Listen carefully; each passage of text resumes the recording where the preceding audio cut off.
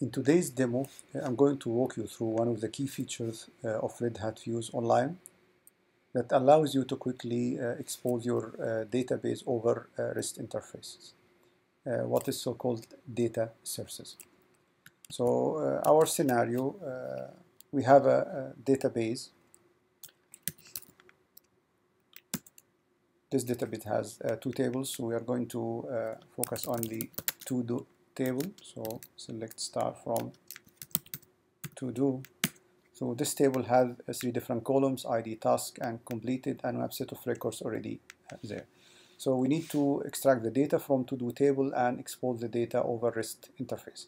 So the starting point in uh, Fuse Online is to create integration. So creating integration uh, by uh, again selecting the API provider which is the REST interface so you can either upload the uh, REST interface definition if you have it in your local drive or uh, you uh, get it direct from uh, online URL or you create it from scratch. So we are going to create one from scratch. Uh, so there is a quick uh, way of doing it by actually adding the data type. Data type is the underlying data type that this REST interface is going to expose, which is the response.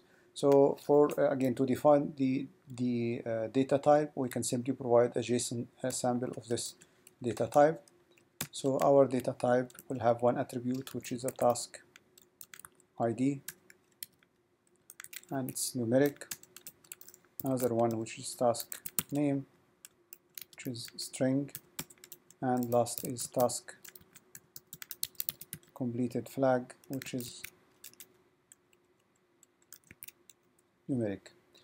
Uh, there is uh, one option here which is the REST resource. If you click on it, so uh, this will allow Fuse Online to create all the standard REST operations to manipulate this data type. So it means uh, we will find all the uh, REST operations required to uh, retrieve the tasks, add new tasks, delete tasks, or update tasks.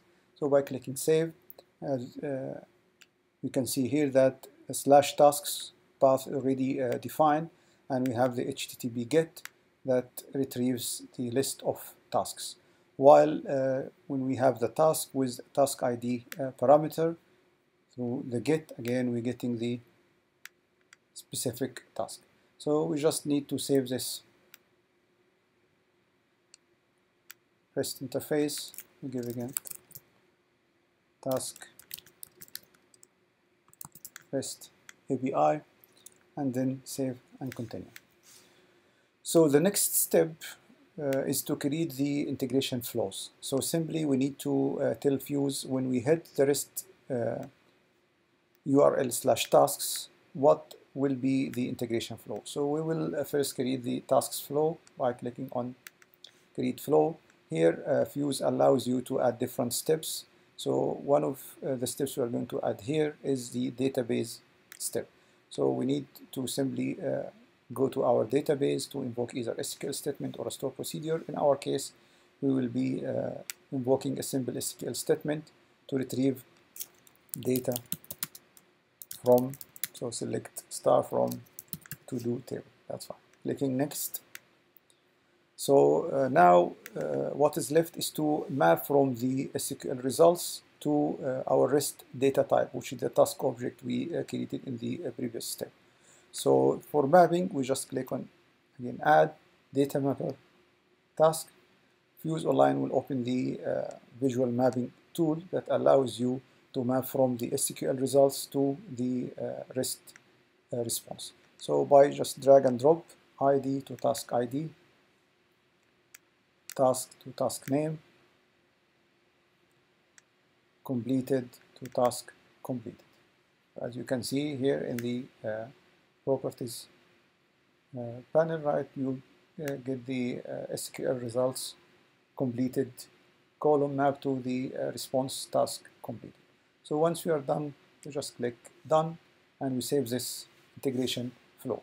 The second flow uh, we are going to create as well is slash tasks task ID that retrieves a specific uh, uh, task uh, based on the task ID. So just click on the task ID. Again, we will be adding the database step and invoking a SQL statement. And this time we are going to select star from to do where id equals a parameter which is id and clicking next. So there is an important step here which is how to map from the uh, REST parameter task ID to the SQL parameter ID. So we'll click again and add and add data mapper.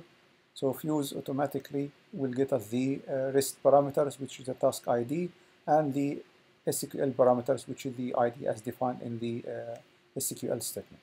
So just drag task ID to ID. So this means get the parameter passed through the REST interface and assign it to uh, the SQL parameter ID.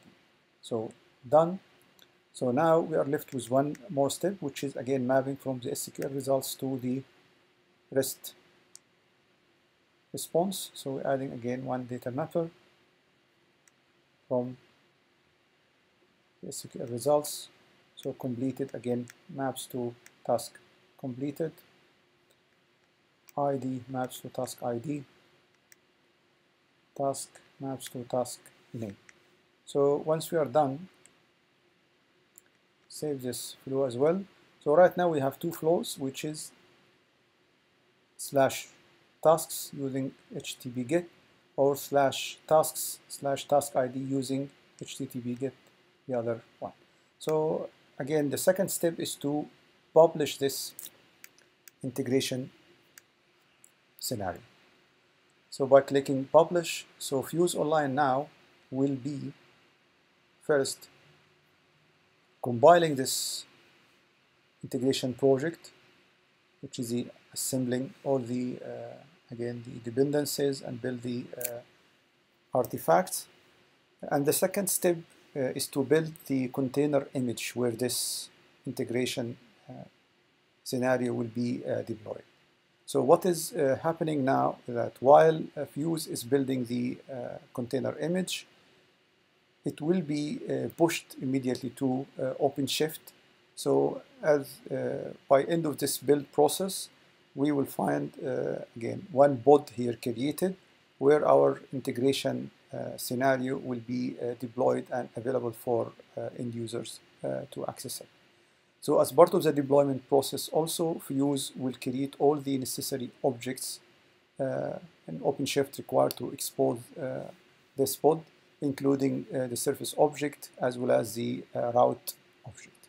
So let's go back to uh, Fuse Online to watch the building process. So while Fuse is building the integration scenario, you can also see that it gives us quick statistics about how many integrations uh, we currently have, uh, how many connectors are defined, and also uh, in total how many messages have been received either successfully processed or failed.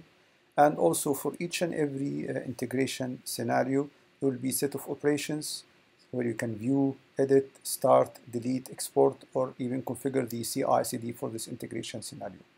We can see in our Task REST API integration uh, scenario now, the deployment is happening. If we go back to OpenShift, good, we will figure out that the uh, container image is built, right? and there is a pod already running and the service object is created and we have the uh, route created by clicking on this route You just accept the self-signed certificate and we test the first REST operation which is slash tasks So as we uh, can see, we're getting all the uh, tasks in the to-do to -do, uh, table. And the second scenario, we're picking up one of those IDs, let's say 46, 46. So again, Fuse will be uh, selecting uh, the task record of the ID 46. So uh, this was the demo and we mainly uh, here showing how to quickly uh, extract data from from your backend databases and export them over uh, REST interface uh, through what is called the uh, citizen integrator experience. As you can see, we didn't write any code, and such tools uh, will be uh, really uh, good either for uh, core developers or uh, the citizen integrators or even business users, right? so this was the demo for today. I hope it explains some of the Red Hat Fuse Online features and capabilities.